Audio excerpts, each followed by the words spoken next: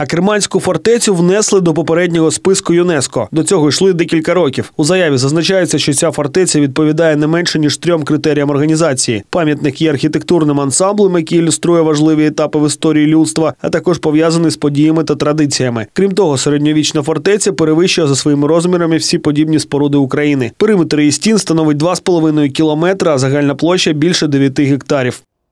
мы включены в предварительный список, Не включены в сам список, но э, мы стоим на очереди, и сейчас э, от нас зависит, э, от рабочей группы зависит э, то, как мы вовремя подадим документы, Э, будут еще подготовлены э, историческая справка, э, архитектурная справка, то есть это все будет готовиться, э, и это уже будет следующим этапом.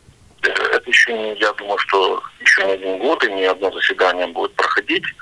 Вот, но э, есть уже результат, это положительный результат, что нас включили в предварительный список. И это уже говорит о том, что я думаю, что э, в ближайшее, вре- не в ближайшее время, а э, наша работа, как говорится, будет оценена, и все-таки Акерманская крепость будет включена во всемирный лист ЮНЕСКО. Тим часом одеські історики повідомляють про загрозу руйнування фортеці. По стінах пішли тріщини, одна з дерев'яних підпірних балок, яка отримує споруду, лопнула, і тепер конструкція поступово просідає.